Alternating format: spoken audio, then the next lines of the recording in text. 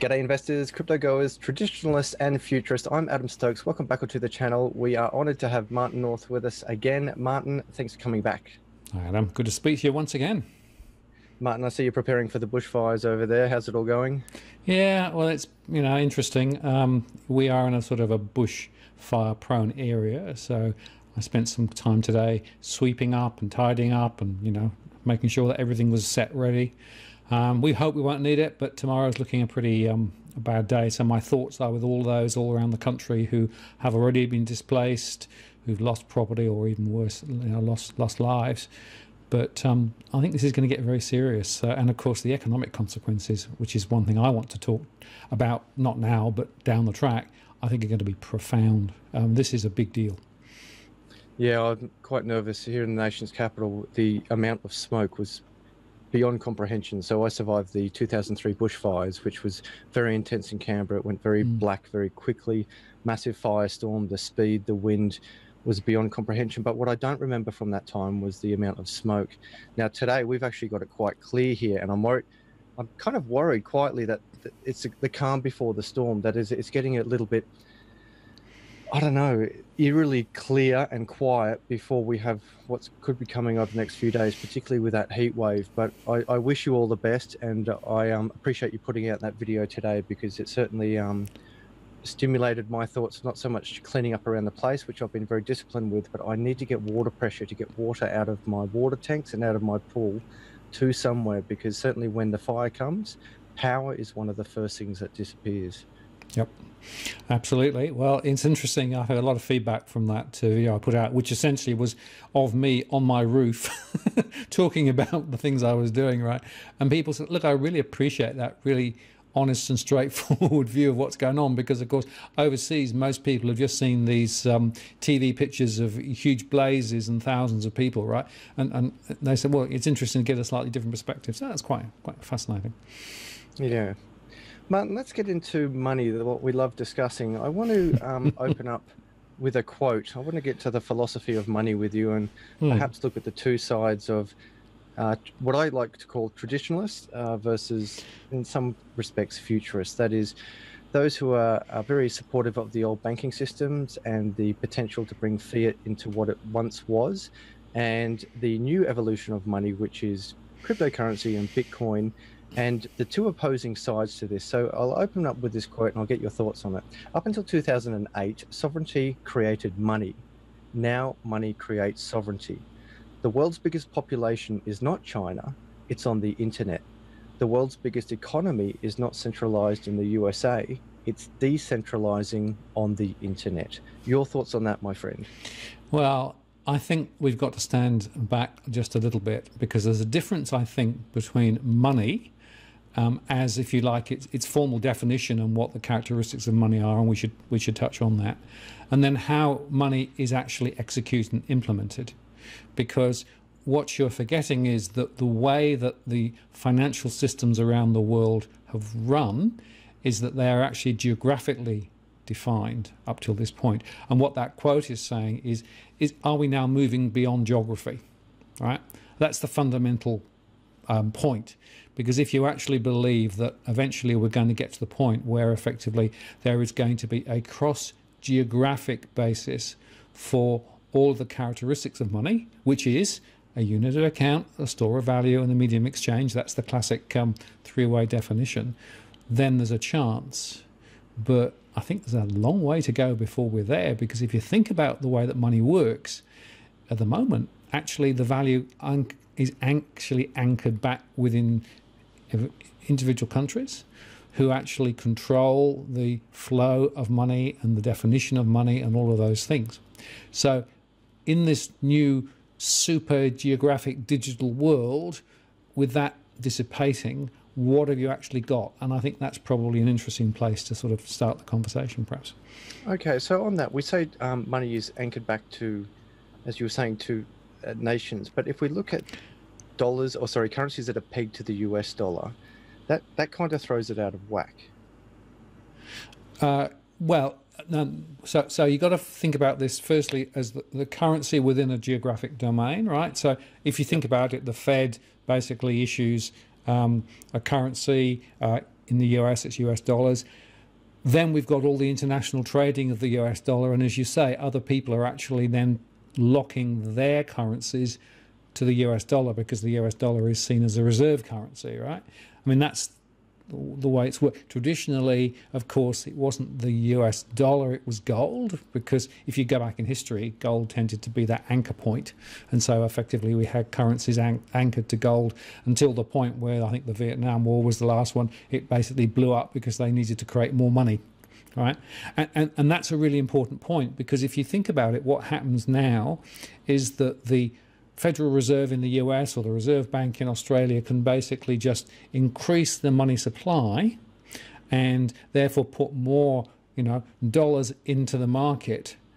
But you're not actually increasing the value of anything. What you're doing is decreasing the value. So, you know, you hold up a, a $10 note.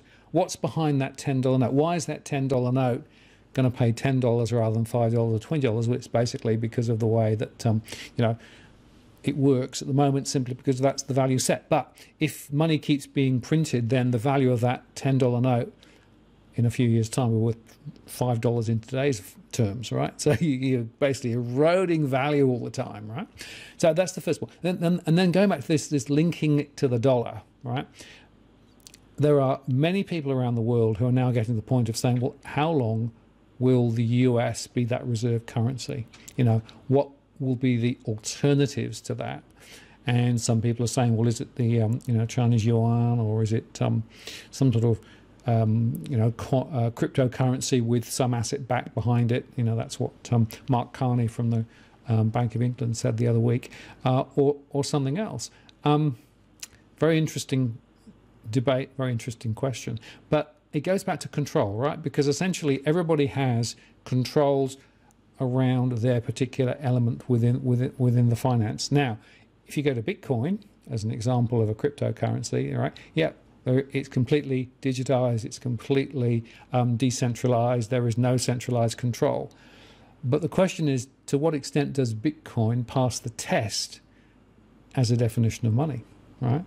And I think we might want to debate that for a bit. Right. So I I would actually say that what money is is a language. So if we if we look at the history of language, the, uh, the scripture, shall we say, so the first recorded uh, sign or the first recorded artifact of of written language was in fact a, a ledger, a spreadsheet, a spreadsheet of debts of farmer A owed something to farmer B or vice versa. So when we actually look at language, in the first instance, it's uh, in written language, in written scripture, it was about money. Now we've seen this money evolve, whether it be a knot on a piece of string or feathers, beads, gold, etc. As we've moved through uh, through the timeline, and as we're talking about philosophy, the perspective of how we look at things, first of all, through our own paradigms, through what we carry of, and our own life experiences, but secondly, through the time period of that time. Now, we've seen many things evolve over time, but one of the things that has really failed to innovate, in my opinion, is the banking sector. And in my opinion, the reason why the banking sector has not innovated sufficiently or uh, caught up with the rest of the world as uh, as we've had exponential innovation is because it's actually in their best interest to not innovate. That is, it is in their best interest to not move away from a system where they can print their own money. Taking the Federal Reserve as an example. Now, noting the Federal Reserve is neither a federal entity nor has any reserves of any value per se. if we look at what money is, money is, and I think you touched on this before. You were saying, in in broad terms, money is a language where you and I agree that if I give you this, whatever it is today, tomorrow it will be worth something. Now, when we translate that to our paradigm of our, our first world privilege, and we say, well, why do we need this Bitcoin thing? Our money's pretty stable. We know that there's about 2% inflation, which in in a scary terms, in 36 years, your money is worth half of what it was today. And that's only if it's at 2%. If we've got as we've seen inflation goes up a little higher, that money is cutting in half, not every 36 years, it could be every 20 years. Now, if we move our paradigm away from the first world, noting that there's at least 2.5 billion people unbanked on the planet. And we go to someone like, and that's completely unbanked. There's more people that don't really have access to computing and banking systems, but purely unbanked, 2.5 billion. A $20 mobile phone could could change that. And a example of the first digital currency was basically seen in Africa when someone went to buy bread at the shop. Uh, I, I, can't remember if it was actually bread, but they went to buy something and they didn't have any money. But someone said, Hey, I'll trade you mobile minutes, as in how many minutes you can talk on your mobile phone for this commodity, for this stock, for this food, for whatever it is. And that was basically the first evolution of real digital money where they said, Hey, I'll give you this digital asset, talk time minutes on a mobile phone. They exchanged it and a good an exchange took place. In the first world, as I mentioned, we don't really need it per se because we've kind of accepting that 2% is what is what inflation is and what, what we're comfortable with. But what happens when we start to move into hyperinflation, as we can see, as we've discussed previously on the channel with uh, not, not so much as hyperinflation itself, but the system breaking where we have bail-in laws and uh, negative interest rates, and then inflation on top of that. What if people want to move out of these systems? Why can't they have the freedom to choose what money is? well, it goes back to what I said, right? That that two point whatever it was um, billion people, right? A lot of them will be in India. A lot of them will be in other specific countries, all of which has a currency within which they currently operate. So essentially, what you're arguing for is a replacement of the current currency for a digital alternative in that particular country, right? And then you immediately come up against the power base of who's going to control that. Remember that at the moment, the Federal Reserve in the US and uh, the central banks around the world want to control flows of money. They are concerned about things like money laundering. They're concerned about things like inflation targeting, all of those things. And they will say we would lose control if, in fact, we um, gave that up. So that's the first point. Second point is um, going back to my definition of money, a unit of accounting, a store of value, and a medium of exchange. The question is, how do you actually work out what the value of a, for example, Bitcoin is when there's such volatility in the exchange rate of Bitcoin? Um, now, you can translate that two ways. You could say, well, it doesn't matter because if I'm buying and selling in Bitcoin and I reside in Bitcoin all the time, then that's cool because it doesn't matter. But at the moment, everybody keeps converting back and forth between Bitcoin and the US dollar or Bitcoin and Aussie dollar, right? And so that volatile movement means that you have no idea what the value of Bitcoin is from day one to day two, which means that it doesn't pass the test at the moment as uh, a store of value. Um, it may go up, it may go down. It's a speculative instrument, right? That's my view. And then the other point to make is that as a unit of accounting, it's very interesting to consider that this could be a global unit of, accounting beyond currency def definitions, border definitions. That's a whole new thing, right? And I suspect that governments and central banks around the world will push back very firmly on that. I don't think that's going to fly. We're going to end up more likely with central bank digital currencies, which will effectively be electronic versions of the currencies we've currently got. And let me make the final point here is that today, even with what we have at the moment, most payments are electronic. Most are digital. It's just it's digital within the definitions of existing currencies like Aussie dollars or US dollars, not the other. So it's not like we're moving from non digital to digital. Digital is already there now. What we're talking about is who's controlling, is it centralized and decentralized, and what is the anchor pin of value, right? And at the moment, I don't think either of those two questions can be answered in the affirmative for any of the cryptocurrencies that exist. So the I, I agree that we're already in a digital age. So I agree that we're already using digital money the key difference between uh, the digital fiat and digital cryptocurrency is primarily the uh, two primarily factor, primary factors are the uh, decentralization and the and the limited supply. So we spoke about uh, centralized bodies having control over how much money there is. Now there's different levers levers within an economy: the money supply, the interest rate, the tax rate, buying and selling bonds, and so forth. And these are all ways of controlling an economy. And the money supply, the biggest lever is simply pressing print. Now, in the past, they actually pressed print, but now, it, of course, because it's digital, there's there's actually physically nothing to to print. It's just hmm. uh, putting numbers on a screen. Just that, it's just now, entry. Yeah. Yep, yep. agreed. So yep. it's as simple as me as opening an Excel spreadsheet on my computer right now and saying I have a billion. Now, of course, where that's unfair in the free market is only some people can do that, and not everyone can do that. And the other thing that's unfair about that is every time that they do that, it dilutes everyone's money. It dilutes everyone's money through creating a excessive supply or a growing supply, uh, which of course is uh, creates an inflationary asset or income as opposed to a deflationary one, which I'd argue is Bitcoin. So I'm, I'm going to make a, a distinction here between cryptocurrencies per se, noting there's over 2,000 cryptocurrencies in the world, and, and Bitcoin itself. So Bitcoin is uh, has a fixed supply of 21 million, which is divisible by 100 million parts, called a satoshi, and each one of those parts is divisible again by another thousand parts, which is called a micro satoshi. And arguably, because it's digital, those 21 million parts can be divided arguably infinitely, but they are still a set supply of 21 million whole bitcoins. When we go over to fiat currencies and we're talking about the volatility, I agree. At the moment, you have a tiny market, and I gave the analogy before you have this ocean of these huge amounts of money compared to a big market such as a shipping container, cargo ship. The wave hits that cargo ship and it moves a little bit. Then, when you have a tiny little market like Bitcoin, and the same wave hits that uh, fishing boat, if you will, it goes all the way up and all the way down. Now, when we talk about the volatility of a fiat currency for someone like a Venezuelan, in, in my opinion, I think they would much prefer the volatility, if you will, of Bitcoin going up 9 million percent aggregate over 10 years, this type of volatility, as opposed to their, I believe it's called the Bolivar, going down like this over time.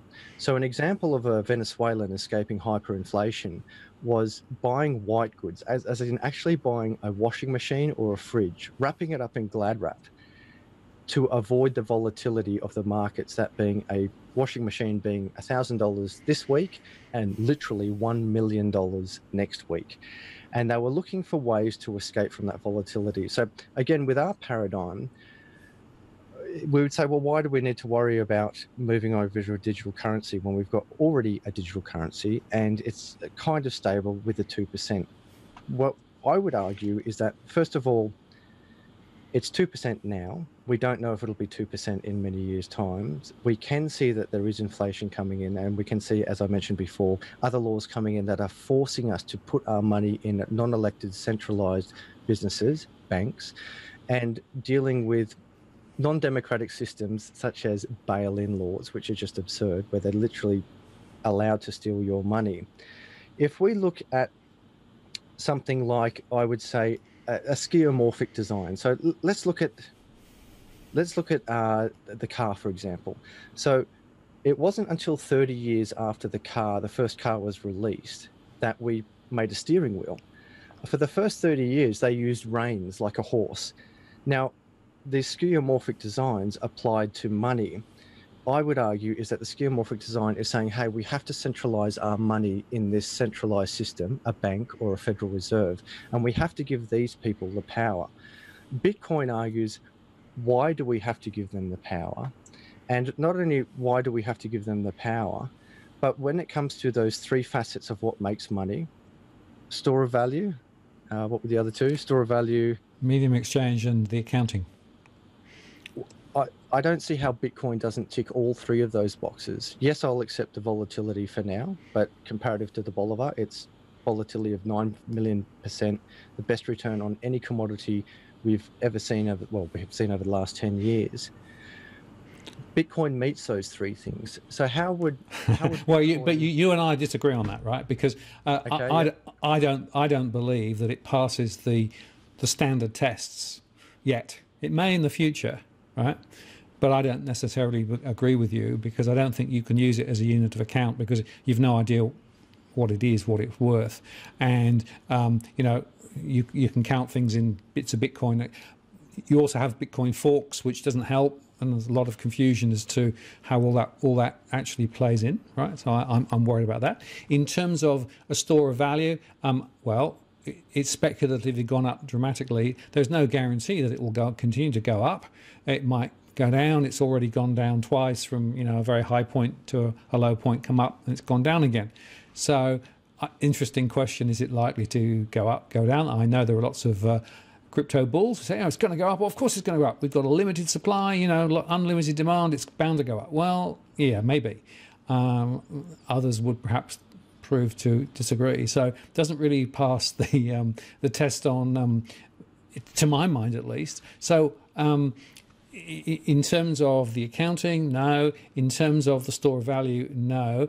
As a medium of exchange, well, sure, you can certainly translate it from one Bitcoin or bits of Bitcoin to, you know, another currency and back or you can buy things. By the way, it's very hard to buy a lot of things. I mean, whether you've tried to actually buy real things with bitcoins, there are a few um, companies around the world in Australia who will actually take bitcoins, but the majority of um, uh, of organisations in who are selling things don't take it. So at the moment, it's got very limited capacity to actually be um, used in, as a medium of exchange. So I, I would argue that on the key tests, which are the you know the universal tests of what a currency is, it doesn't yet pass muster.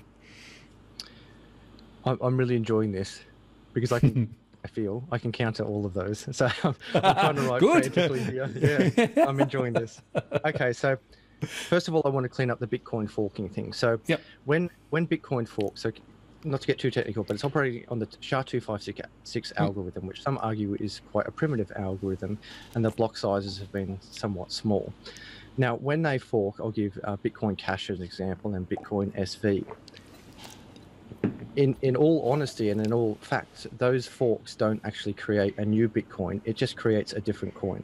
So I mentioned at the beginning of this, there are over 2,000 cryptocurrencies in the world. Yeah, but isn't that part of, Adam, but isn't that part of the problem? Because if you are going to actually hang your hat on a specific alternative to money, you need to actually identify what that's going to be. The fact that you've got 2,000 of these things uh, and more proliferating is part of the problem, isn't it? No, fair question. If I if I fork uh, the US dollar and I say I have US dollar cash and then US dollar SV and then US dollar Martin coin, just because it's got the name US dollar in it doesn't mean it is actually US dollar. So when Bitcoin forked, it didn't actually create a new Bitcoin. It didn't actually create a an expansion of the supply of Bitcoin. When Bitcoin forks, and this is where you have, um, if you will, big debate or big fight, big, big tension within the crypto community itself, just within mm. inside, because you have these things called Bitcoin purists. Hmm. now, at the beginning of this, I, I said I really want to emphasize just on Bitcoin, but your question is more than fair because there is a confusion that when Bitcoin forks, it's either increasing the supply or creating confusion about actually I, I, will pay that because what happens is people get scammed not scammed but misled because it has the word bitcoin in it so i'll, I'll do a slight digression here where one of your viewers left a, a, comment in our last video and they said adam what do you mean no one owns bitcoin and i was going to write back to her i think it was a her and i was going to write back in quite uh, long detail and i thought i should actually make a video of it what I mean by that is that there is no Bitcoin company. There is no centralized Bitcoin agency. Mm. Now, what's good and bad about that, what is good is that there is no centralized body that can control Bitcoin. They can't stop your payments. They can't create a new supply. They can't do anything that traditional or skeuomorphic designs of banking system could do with money. The bad side of that, though, is there is nothing stopping me right now writing a white paper that says Adams Bitcoin or Martin's Bitcoins or Bitcoin Cash or Bitcoin SV or Bitcoin Gold, Bitcoin Diamond, Bitcoin, anything that has been created. And the downside of that is that they're exploiting the name of Bitcoin. But the reality is, is that there is no matter what you fork and no matter what you name it, even if it, I think there's even one called the real Bitcoin hmm. and the new Bitcoin and Bitcoin everything else, but there is only one Bitcoin, and that only that one Bitcoin so, is 21 million. So, so here's the question, right? All of those 2,000 different coins that have been created, right? Yep. Do they all have precisely the same value at the same time? No.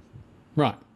So that immediately says that no, you haven't got a single you haven't got a single currency. You've got multiple currencies. You've got more than 2,000 different flavors of Bitcoin related currencies, right?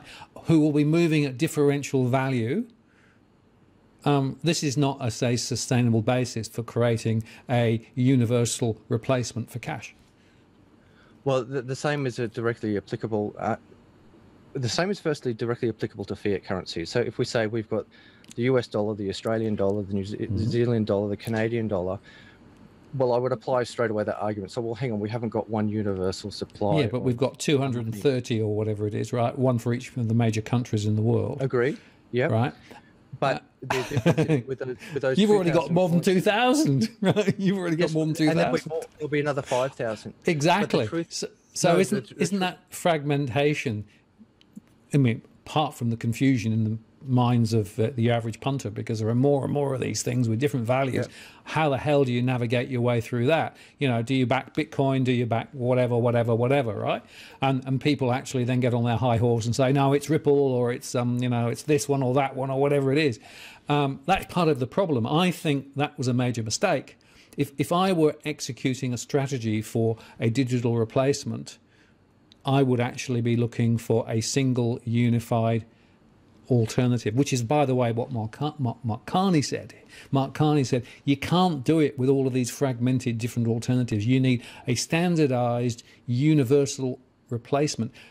Linked back to some fundamental value, by the way, as well, but that's another story, right? Because because this proliferation thing is going to go on and it's get, going to get more and more confusing. And by the way, what also happened is that people then get scammed through the process, right? Because they're not sure what they're buying into, and then exchanges collapse, and then you know that's something which is a reality at the moment. So there is only one Bitcoin. There, uh, remember, we need to make this distinction. Yes, there are over 2,000 cryptocurrencies. Mm-hmm. Yes, there are over 200 fiat currencies. There is only one US dollar. There is only one Bitcoin.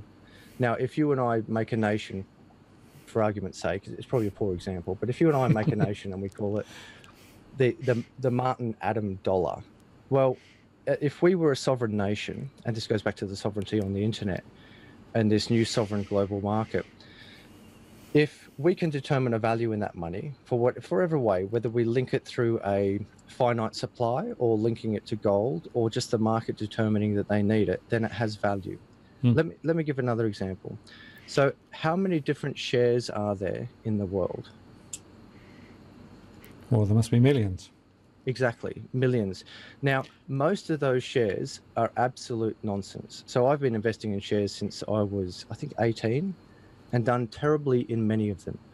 And that doesn't mean that good shares, well, what's the number one share in the world? Is it Google or Apple? Um, I don't know. But let, us say, for argument's sake, it, it's Google. Let's say Google is the number one share in the world.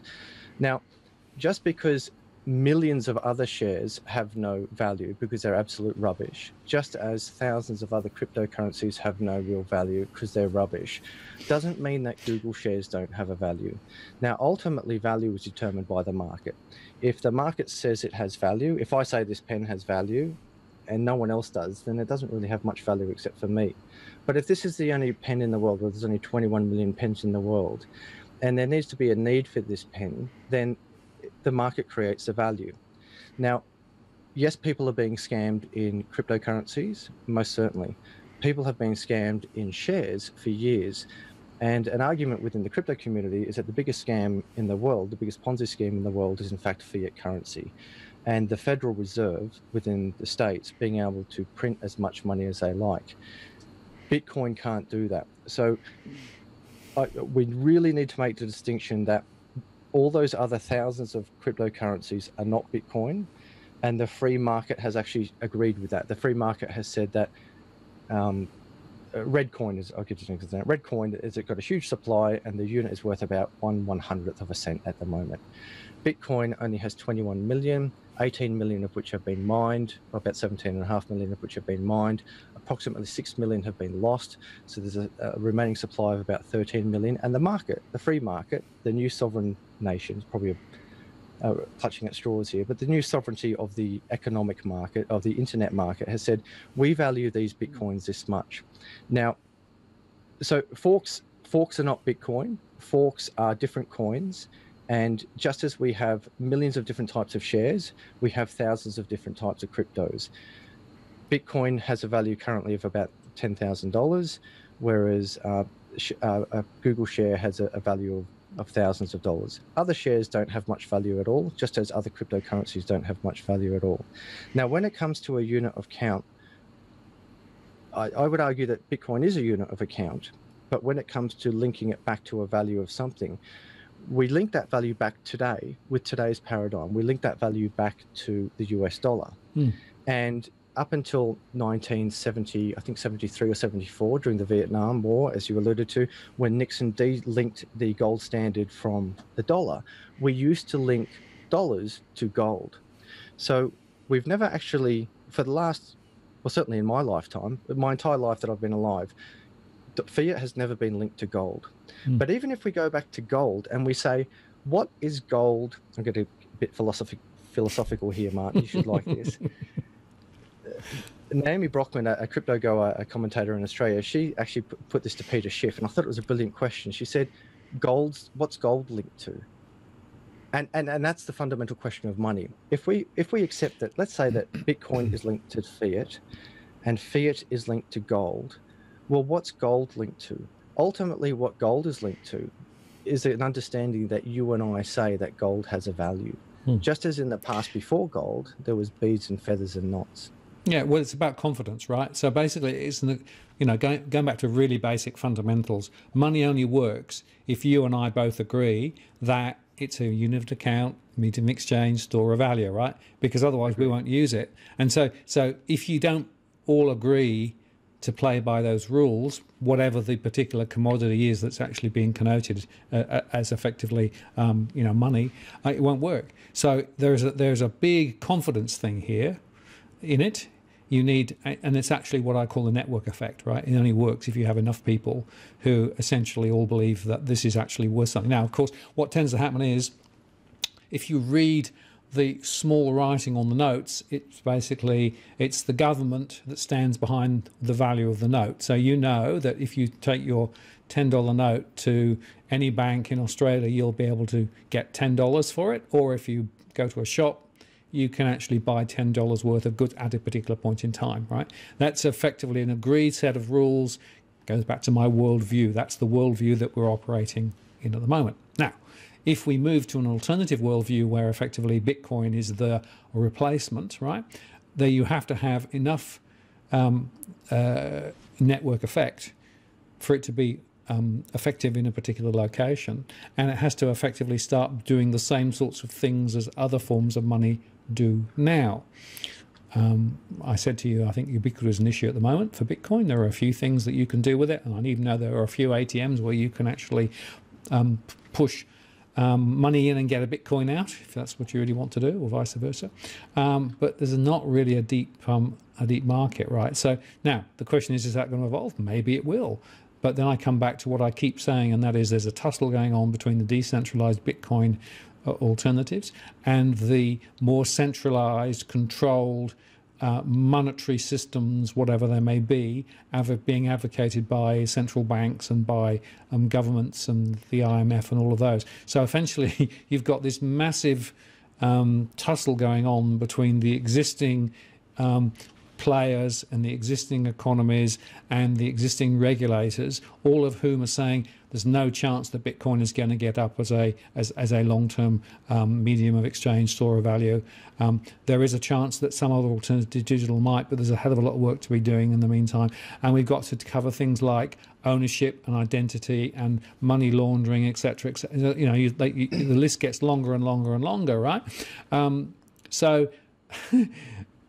the the gulf between where we are now and where you would envision you would like to get to, I think, is much huger than I think many crypto um, bulls would actually really want to recognize. The biggest uh, critics publicly of uh, Bitcoin in the public space are those who have the most to lose and that, as I mentioned, was was the, those who have failed to innovate, and that is the banks. So, ultimately, if you had a business model, I, I, give two business models.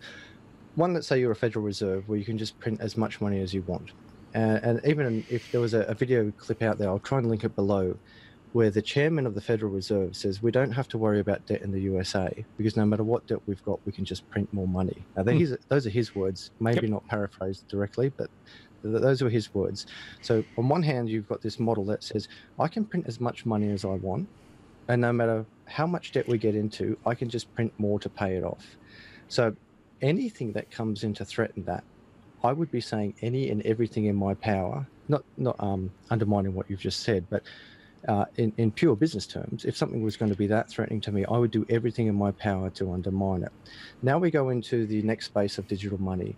Every transaction going through MasterCard, Visa, PayPal, Apple Pay, banks, uh, and Western Union as example. So the remittance market is worth about half a trillion dollars per year, and the remittance market uh, is mainly for third world people, where essentially uh, people are going overseas, earning money, and sending it back to primarily uh, their, their, women, uh, statistically, and those women are using that money for uh, sanitization within their community, education, and health. And Western Union, who currently has about 90% of the world remittance market, is is making billions of dollars every year in taking up to and sometimes more than 10% of those transactions. So, as an example, I, if I go over, let's say I'm a, a third world uh, employee, I go over to the Middle East, which I've, I've seen a fair bit over there. Uh, I go to the Middle East, I work hard, I earn all this money, I send it back to my family. It takes three to seven days. They take a 10% cut but ironically, and, and that's how I have to send money to my family. I have to go, th- I have to even drive into town if I'm unbanked per se. I have to go to a Western Union counter during business hours, wait for that money to go over there and do this transaction. Yet, if I've got a phone, I can text you a picture, a letter, a video file, but not money. But Bitcoin says, well, no, you can actually text money. You can do it for a fraction of a cent. You can do it within 10 minutes and as the network gets faster within seconds. So as we move over, and, and you might say, and I, I, if you will, I can predict what you're about to say. It's like, yeah, but then they've got to exchange that Bitcoin for their traditional currency over there. Well, I would say, says who? If the person in that country, whoever, it doesn't matter where they are, if that, if that if I send money to my wife in India, I don't have a wife in India, but going for this example, I send this money to my wife in India, and then she goes down to the bakery and the bakery says we accept Bitcoin, a deflationary income as opposed to an inflationary income, then you have this medium of exchange. Now, I would also argue that you only need two people to have a medium of exchange. You don't need everyone to do it. Need proof? Not everyone accepts the US dollar. Not everyone accepts the Australian dollar. And not everyone accepts gold. I can't go to Woolworths and buy a loaf of bread with a gram of gold in my safe. Even if I offer to give them all of my gold, they won't accept it. So there is actually no one global currency, but that doesn't mean it doesn't work. Now, when we go to the medium of exchange, I would argue that it is a medium of exchange because I buy stuff with Bitcoin. So, for example, the um, the intro video to, to my channel, uh, it was actually paid for with Ethereum, but I've done work with the same provider who sometimes wanted Bitcoin or Litecoin. Now, he had a choice of the US dollar, and one time he did take it via PayPal, which he, he lost a fair bit on because there was a, a cut in the exchange. But at other times, admittedly, I've sent him Bitcoin or Ethereum, and Bitcoin and Ethereum has gone down. But over other times, I've sent it to him and it's gone up exponentially. But in any case, he had a choice. And that's why I would ask why do we have to use a sovereign nation's money? yes, we can give them tax. Yes, they can watch what we're doing, noting that everything on the blockchain can be seen, more so than cash, noting that the biggest use of illegal money for illegal transactions in the world is, in fact, the US dollar. We don't ban the US dollar because people use it for drugs. Uh, we actually put drug enforcement agencies around it. Now, Bitcoin is more transparent than cash um, there, there are privacy coins. They would be a threat to a government, noting there's over 2,000 cryptocurrencies and they're coin like Monero coin, which is a privacy coin that governments can't see, no one can see. Those are the ones that would probably be targeted by government. Long rant here, I realize. If two people agree that this is value and the tax man can get his cut from it, and I can leave banks out of the equation, and I can text you that money from anywhere on planet Earth within seconds, as opposed to going through Western Union and waiting seven days and paying them ten percent. Why is why is this so bad? well, if you look at it from a utility point of view, as an individual level, you're right. There's no negativity that I can see. Because effectively, if you both agree that that's the way you want to exchange value, you should be able to do it. But you can't walk away from the political, economic, and social reality that the existing incumbents are actually very, very keen to play within the existing rules rather than the new rules, and they will do everything they possibly can to essentially force this new world into the old world. And you know, Libra is an example, I think, of that.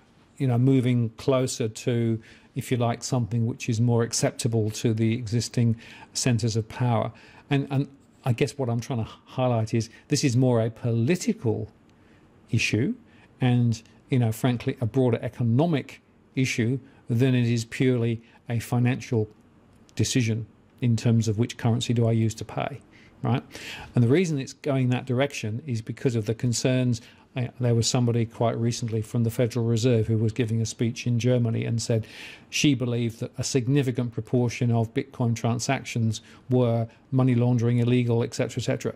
To which I thought, well, how do you know? How can you possibly know that, right? I mean, it's it's sort of convenient to run that argument, but very little behind. But there are these very influential people within the existing system and structure who basically are very much pushing the barrow of it'll never happen for these reasons, right? It becomes a political debate, a political argument. Um, I'm waiting for the first government who's going to actually come out and say, right, we're going to scrap our own currency and we're going to actually go cryptocurrency. I wonder how many votes they get at the election. I see our worlds coming together again, Martin. This is why I love talking to you because I agree it's more political than I'd argue the technology. So uh, horse and cart was the the mode of transport for years. Then the internal combustion engine, or we had the steam engine, then the internal combustion engine, and then when the first car came out, it by law, by law, there was three people that had to drive the car. You had the the steerer, the engineer, and then a person walking in front of the car, waving a red flag, saying this impending doom is is driving down the street. Hmm. And many people saying, well, why do we need a car when we've got a horse and cart? Now, of course, now a horse and cart still exists, but it's just for fun or weddings or romantic times, or in in, in some ways third world countries. And the same happened for every technology. I remember I th- when the telephone came out, a British gentleman said, "Why do we need a telephone?" when we have message boys. We can just put a message here and send a message boy. Then when email came out, to send an email, you had to write lines and lines of Unix code. And it was a very cumbersome process. Now I can send an email with a swipe. In fact, I can send an email without even touching my phone. I can just tell my phone to send an email. And in fact, even go back a step, email wasn't even on phone, it had to be on a computer. Mm. So I, I agree that there's a lot of pressure on Bitcoin but I would argue that the reason why the pressure is on Bitcoin is because those who stand to lose the most, banks, hmm. Visa, MasterCard, PayPal, they will lose everything if Bitcoin is accepted. So when you transact in Bitcoin, you don't have a bank account. You are a bank. Yep. You you are your own bank. So this whole need, the whole again skeuomorphic design of a bank is now completely obsolete and gone and in the crypto community, we say that Bitcoin is in fact a gift, except for XRP, which I'll get to in a second. But your rebuttal on that, my friend? Well, there's two, two points. The first is um, if you think there are probably, well, there are 30 globally significant banks as designated by the banking system around the world, right? So there are about 10 in the US, there are about six or seven in Europe, there are four in I think it's four in China and a few others around the world, right? And they hold 75% of all of the uh, major transaction flows around the world, right? So understand how concentrated the existing banking system currently is, and they are in it to protect themselves and their shareholders. So that's the first issue, right? In terms of, I talked about the political environment. It is the political and the commercial environment. Second point is pretty much all of the major central banks around the world who are studying, in inverted commas, the crypto world are all arguing against a, a Bitcoin and for some sort of asset backed or central bank controlled alternative. And that's a very powerful set of arguments, and of course they've got political support as well. So, so that's the political and commercial reality against which you're you're working. Now, I agree that those are the battles that have to be won. I don't think it's a technology battle at all. I agree with you. I think the ubiquity of Bitcoin and the fact that you know you can make the transaction simply and straightforwardly on the smartphone or the technology is is absolutely right. It's not that's not the that's not the center of gravity of the problem, right? It is this political will thing. It is fundamentally about old world, new world. And you're right, eventually the old world passes.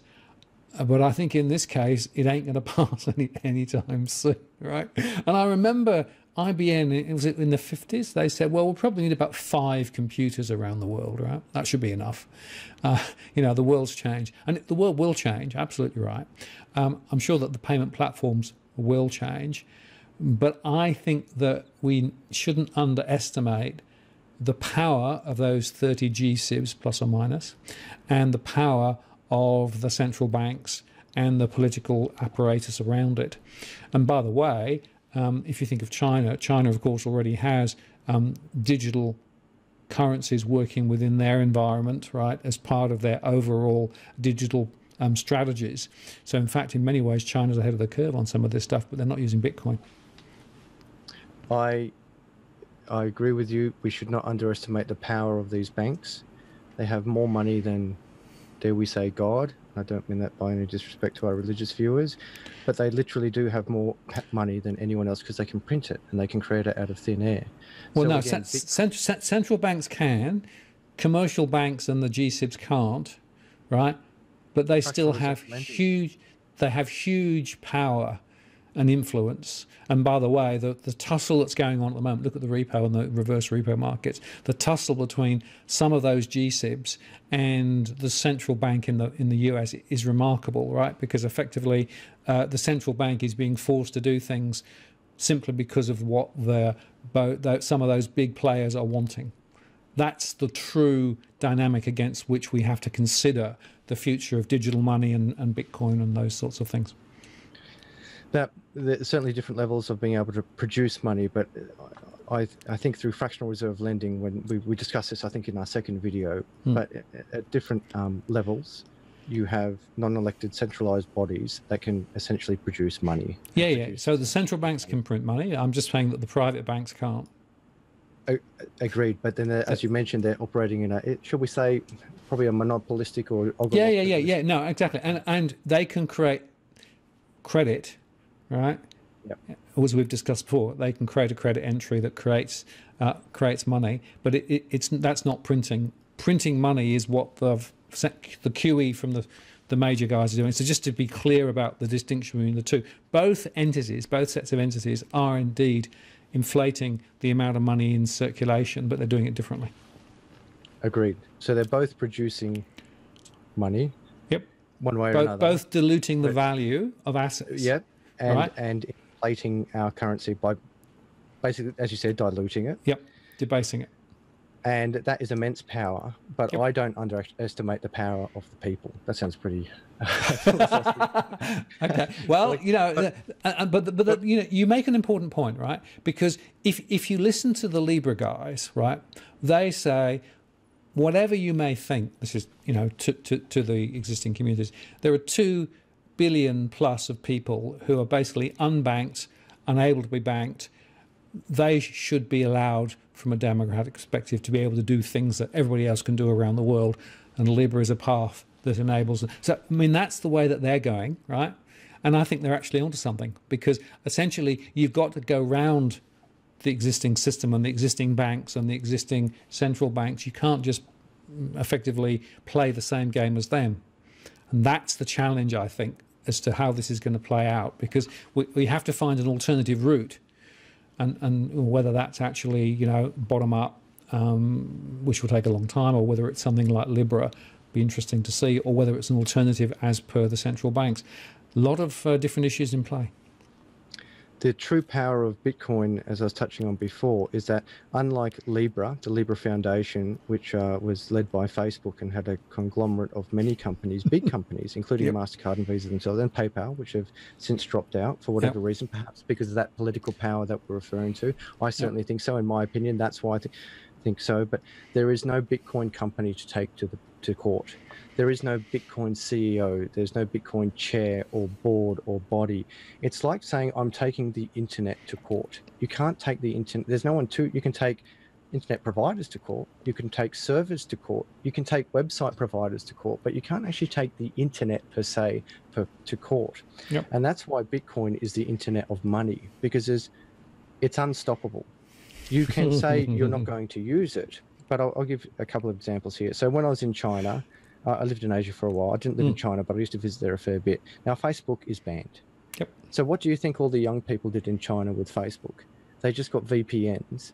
And I saw it all the time. You'd be in a bar and they just open, open a VPN and be surfing the world on on um, on Facebook using mm. a VPN.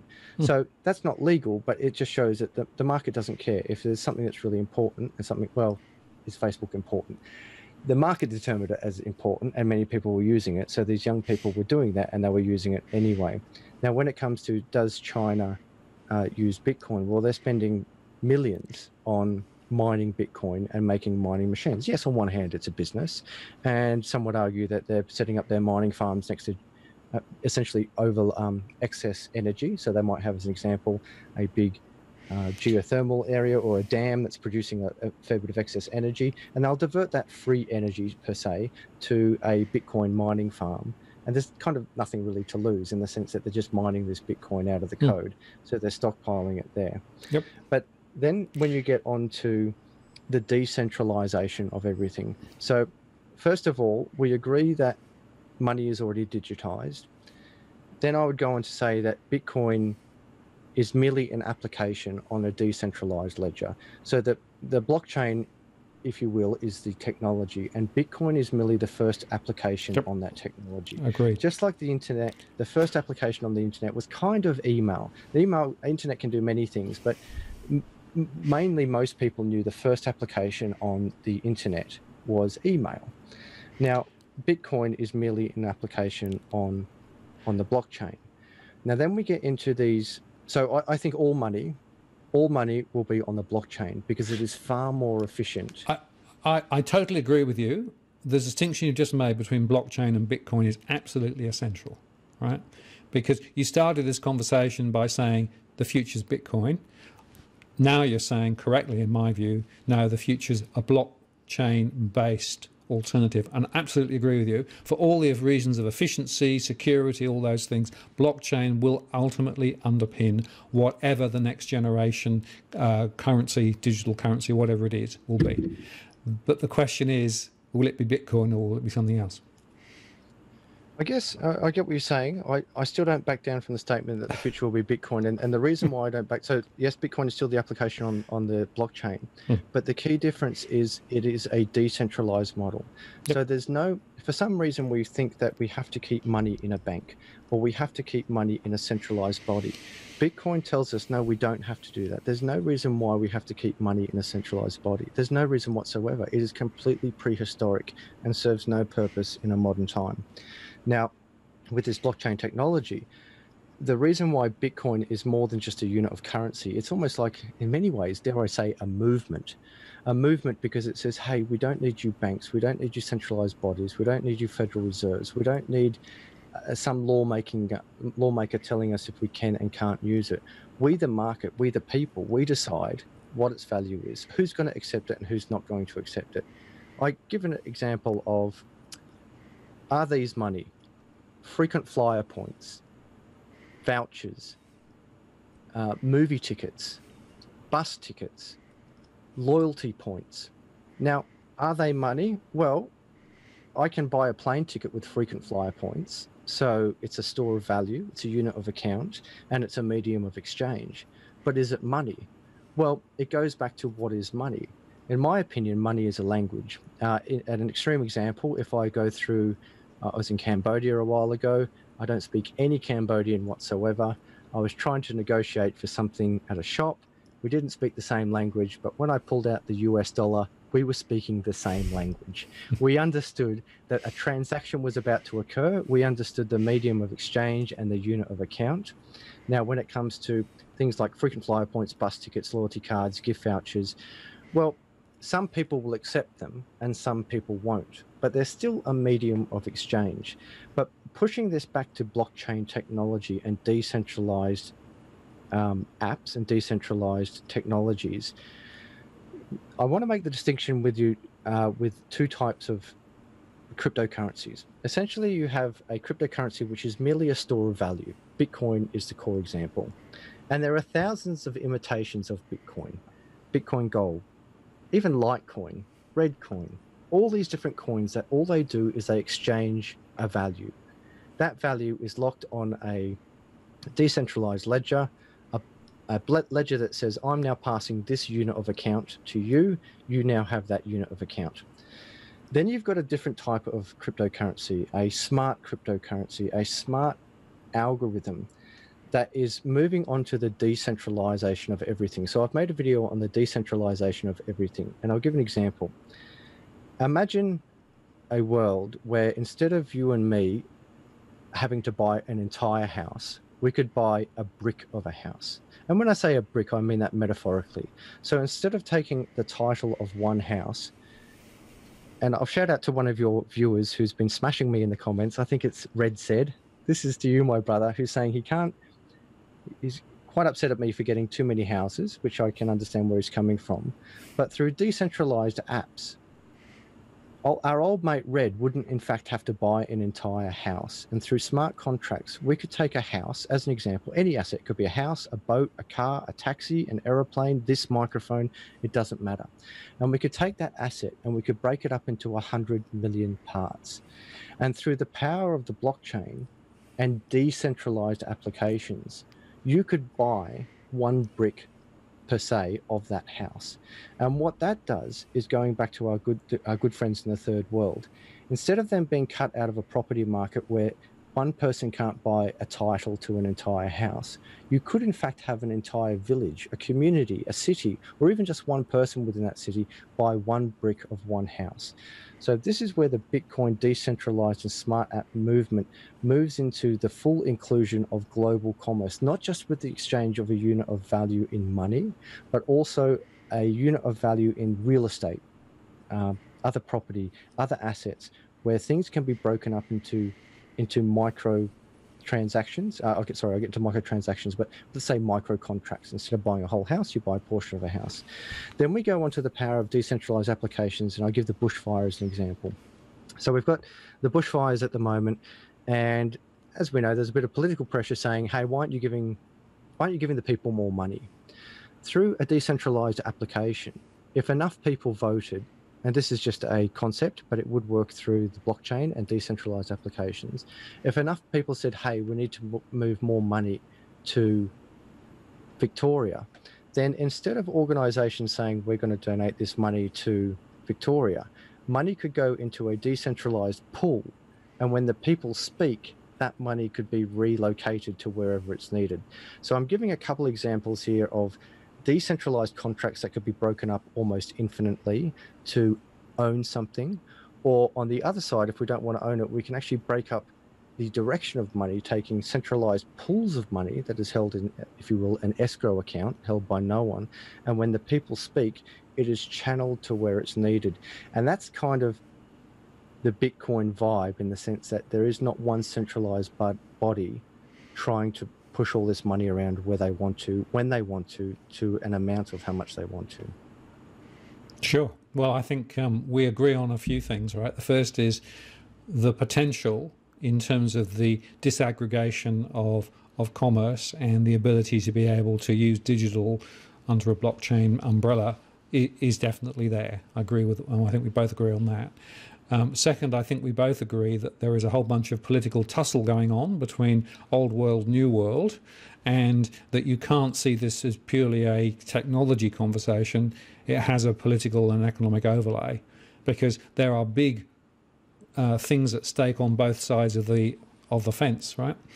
And thirdly, I think we probably also agree that many in the crypto community have actually not helped by the creation of multi, uh, you know, multi, multifarious numbers of different versions and some of the confusion around that and the lack of clarity from the crypto community is actually not helping. And by the way, I'd also argue that the volatility of, crypt, of the crypto um, currencies themselves are also not helping. So in a way, you know, we're at this very early stage. But I'm with you in terms of saying there is a huge potential opportunity and you know it can actually produce huge value potentially. It can release a whole bunch of capabilities to um, the unbanked and for uh, you know other people around the world. But i come back to the political conundrum that we're in and the lack of appetite from the existing incumbents to really step out because I think they'll continue to protect the status quo for as long as they can. If there's anything I get out of our conversations, Martin, it's how we have a, a deep dive into any topic that we look at. And we actually come around and actually find we have a lot more in common than we realize. I, Funny I've that. discovered a lot. Yeah, I've discovered a lot with you tonight, and I hope our viewers can actually uh, discover this with us. That even if we're opposing ends of the spectrum, it's I, I, sometimes look at it as religion. Sometimes we're all praying for the same God, but in a different way. And even if that God is just your own values and and um, personal beliefs, and at the end of the day, I think we all we all want to look after our family. We all want to do what's fair. We all want to do what's right. And um, there's many ways to approach that. But when it when it comes to uh, just as we close this off, noting that we've been going for a while, when it comes to the education of things like crypto, I do push out to your viewers that if if you're not sure how crypto works, come over to my channel or any of the channels out there in the crypto community and explore explore what this new fandangle technology is. In to, to, give you some background, Martin, I had no interest of making a, a YouTube channel. I had no interest of being in front of the camera, uh, and I had no interest of discussing money publicly. But when I discovered Bitcoin and and truly how powerful this thing is and this gift that has been given to us. Noting that it was uh, don- donated that is the code the, the white paper was given to the people anonymously. We don't know who invented it. The, i mean it goes under the pseudonym of satoshi nakamoto but we don't know if it's a he a she a them a they. We don't know anything about it. It was just given to the people and it was given to the people after the global financial crisis. And some argue it's the greatest gift that we've ever been given. And it's so confronting this gift that you get so much pushback, as we've said, uh, politically, and particularly from those who have uh, so much to lose. You get so much enthusiasm from people, I guess, like me in the crypto community who are like, wow, look at this thing. And I will just touch on quickly before we close off on XRP, because I've noticed uh, th- there was one of my subscribers who, who rightfully put me in my place, uh, Agora. I'm shouting out to you because he said, I said, I, on behalf of the crypto community, XYZ. And he rightfully said, no, the XRP community doesn't believe this. And the big difference with XRP and Bitcoin is that Bitcoin aims to be a bank, whereas XRP aims to facilitate bank transactions. And the reason why XRP, in my opinion, is third on the uh, global markets at the moment you have Bitcoin at number one, Ethereum at number two, and XRP at number three, is because the big gamble in the world at the moment is will banks exist in 10 years? And if they do exist, many believe they'll use XRP to facilitate these transactions through their liquidity pools, the power of the blockchain, and these very quick transactions. But I put it out there. I, I certainly own XRP. I've I my bets. But if banks do in, exist in 10 years, there is an argument I put forward that why would the banks use XRP when they could use their own cryptocurrency? Equally as you've put out the argument, if Bitcoin does exist in the future, why would uh, why would economies use Bitcoin when they could create their own cryptocurrency? I don't have the answer to this. I don't know what will happen in the future. I believe it will be Bitcoin. I believe in the free market. I believe the power to the people. I believe banks are a thing of the past. But if banks survive and they choose to use XRP, that's where that will take off. But if they do survive and choose not to use XRP, that's where it may not go forward. But that was just a little side note I put in there on XRP. As I've been ranting most of this video, Martin, can I please give you the final word? Yeah, I want to come back to frame of reference, right? Remember our last video where we said people need to understand that there is a context within which they are thinking about a particular subject, right? And I will argue that one of the most valuable things that people can do is to understand the frame of reference that they're thinking about this debate within. Because at the moment, my view is that we have actually a frame of reference within the crypto community, and we have a frame of reference within the existing communities today, particularly those that are actually central bank orientated or the, the 30 GSIBs, right? The point I want to make is that those two frames of reference are incompatible. And that, for me, is why there's going to be a tussle ahead why are we're going to end up with a number of years where we're going to see effectively a battle playing out between New World, Old World, Old World, New World, because the frame of references cannot be married. They are actually too different. And that's why I think this is not going to get solved anytime soon. May I please add two more frames of reference to those two that you pointed out? Yep. We have the next generation of children that will never hear the words three to five business days for a transaction. And if That's they true. do hear it, they will laugh their head off as they walk out looking at a fax machine in a museum. And the other frame of reference is the third world countries who will, in my opinion, leapfrog banks completely and just simply start texting money to each other. But I certainly accept that's my frame of reference. Perhaps there's a fifth and sixth frame of reference. everybody carries everybody carries their own. Yeah, Martin, this has been great. I, I love talking to you. I, I really do wish you Wes uh, the best in the um the, t- tomorrow in the bushfires. Hopefully they pass safely per se, if there Thank is you. such a way of saying it. Uh, I hope the winds are kind to us. I hope we get rain. I've been waiting. We haven't had rain for months down here. No, All my tanks not. are dry. Yep. Um, no, me. Have you got enough water in your tank? Yes, I have. Yeah, we had a big one big downpour about mm, six weeks, eight weeks ago, and we've been uh, rationing the, the use of the water. So we've got nearly a full tank. Well, I wish you and your community all the best. Martin North, thank you so much for joining me tonight. Great talking to you once again. Take care.